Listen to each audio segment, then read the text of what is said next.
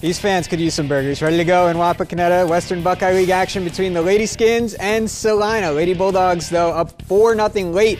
Looking for more. Becca Carr on the free kick. Got some air under that one. Held onto by Brooke Schlenker. Later, Celina attacking the near side. Kelly Mater plays to Jenna Berry. She's knocked off the ball by Bianna Picono.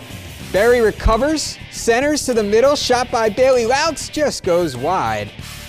Good attack there. Then Carr Plays it out wide for Alyssa Cisco. Carly Jarvis defending, and she does a good job as Wapak is able to clear it away. Final seconds of the game now. Emily Jackson up ahead for Carr. Goes to the end line. She's going to make a run at it here. Trying to get some insurance. Cuts to the middle. But then Wapak able to clear it away and avoid any further danger. Celina does take this game by a final of 4 to nothing.